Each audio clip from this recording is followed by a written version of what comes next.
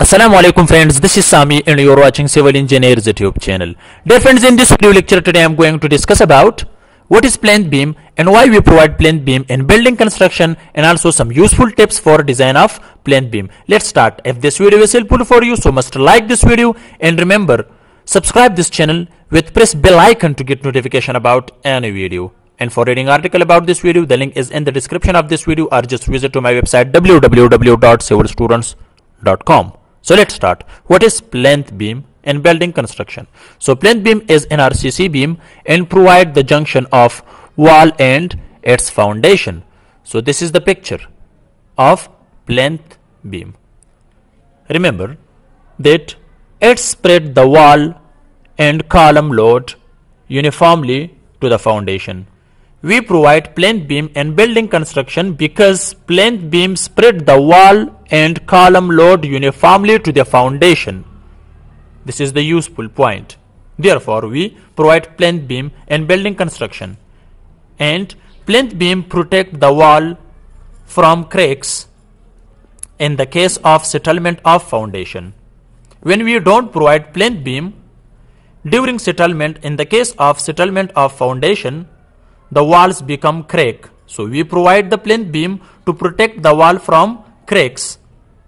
Right? In the case of settlement of foundation. This is too much important.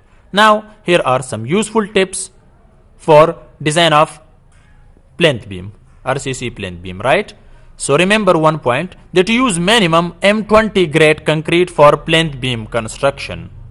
So what is M20 grade concrete? Okay, so I've already discussed grade of concrete more time. So M20 means that use 1 ratio 1.5 ratio 3. Use 1 cement, 1.5 sand and 3 crush. Okay, or aggregate. Right? Use minimum M20 grade concrete and the construction for plinth beam. Right? Second point, minimum depth of the plinth beam should be 200 millimeter. So this is plinth beam cross section, right? So minimum depth of plinth beam is 200 millimeter minimum, right? Okay, plinth beam. One other point here. Use minimum 12 millimeter dia of steel in the bottom of the plinth beam. Use minimum 12 millimeter dia of steel bar in the bottom of plinth beam. How? Suppose this is plinth beam cross section. Use minimum 12 millimeter dia of steel in the bottom of plinth beam. Use minimum 12 millimeter dia. If you provide 10 millimeter at the top of so no matter, but minimum use 12 millimeter at the bottom of plinth beam. Okay, 12 millimeter dia, right? Here.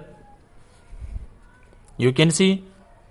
Use 6 millimeter dia of stirrup. Use but remember 6 millimeter is the minimum. Okay? Minimum dia of steel. Use 6 millimeter dia for the stirrup with the spacing of 150 millimeter. How? You can see. This is long section for plinth beam. Right? These are stirrups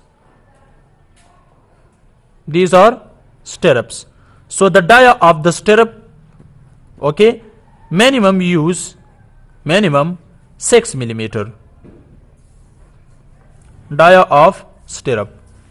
And spacing distance between two stirrups okay that should be 150 millimeter. When we use 6 millimeter dia of stirrup and plinth beam so spacing should be 150 millimeter. And the last one is here. Use 25 cover. 25 millimeter cover for plinth beam. So this is this is RC uh, this is plinth beam and this is cover concrete cover. Okay so use 25 millimeter cover. Means 1 inch. Use 1 inch clear cover or concrete cover for plinth beam. So these are the some useful guidelines for design of plinth beam and why we provide plinth beam. So all about plinth beam i have discussed the front of you. So if you have any question about this video so you must comments i will try to reply your answer. Thanks for watching. See you in next video. Goodbye